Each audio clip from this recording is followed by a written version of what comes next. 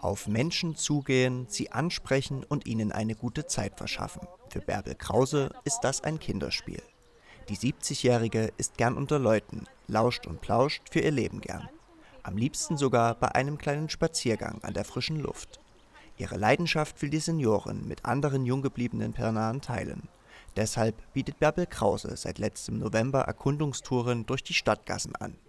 Das Konzept ist, dass es für die Einwohner der Stadt auch mal was geben muss. Keine bezahlten Stadtführungen, sondern einfach nur die schöne Stadt angucken. Und wir haben eigentlich auch gefordert, dass wir was über diese Stadt äh, erklären. Keine leichte Aufgabe für die gebürtige Görlitzerin, die jahrelang in Berlin und Braunschweig lebte. Doch wo ein Wille, gibt es für Bärbel Krause auch immer einen Weg. Und der führt die spazierenden Senioren diesmal an einen weitestgehend unbekannten Ort der Pirnaer Stadtgeschichte. Ja, heute war thematisch äh, die Gründerzeitvilla am Donauischen Platz, wo eine Frauenärztin längere Zeit gewohnt hat, wo es auch ein Buch gibt darüber, Splitterzeiten. Da habe ich ein paar Teile vorgelesen. Etwas bislang Ungekanntes über die eigene Stadt erfahren, Pirna quasi im Vorbeigehen neu erleben. Das ist, was die Seniorenvertretung anbieten will. Fortan soll es immer am zweiten Dienstag des Monats eine neue Tour geben. Für die Teilnehmer bietet das nicht zuletzt die Möglichkeit zu guten Gesprächen. Wir haben uns über einiges rein Privates unterhalten, wenn man sich überlegt und dann noch eben, was noch ansteht und was man eventuell zusammen noch machen können. Die Zusammensetzung der erkundigungsfreudigen Gruppe ist variabel. Immer wieder kommen neue Wegbegleiter dazu, andere pausieren.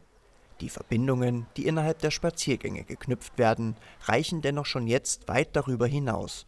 Man trifft sich. Also das habe ich schon gemerkt. Es gab schon zwei, die haben sich dann intensiver unterhalten. Die sind auch nicht mehr dabei gewesen. Die treffen sich jetzt wahrscheinlich häufiger woanders. Aber das, das ist kein Thema. Man muss sich auch nicht anmelden, sondern einfach dazukommen. Pirnas Senioren schätzen das ungezwungene Zusammenkommen. Laufen, lachen, lauschen. Viel mehr brauchen die Teilnehmer nicht, um für einen kurzen Moment glücklich zu sein.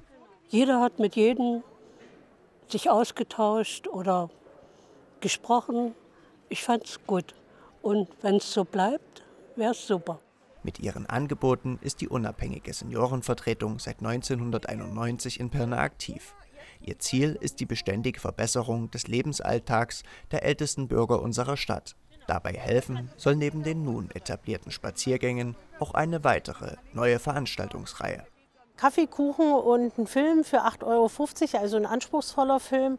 Das gibt es jetzt auch einmal im Monat, hat der Filmpalast nicht nur in Pirna dann äh, organisiert, sondern auch in Görlitz und in Bautzen. Der Tatendrang, den Bärbel Krause versprüht, ist bemerkenswert. Obendrein ist er für Pirna Senioren eine Art Versprechen, eines, das ihnen noch viele schöne und vor allem gemeinsame Momente bringen wird. Ganz beiläufig, versteht sich.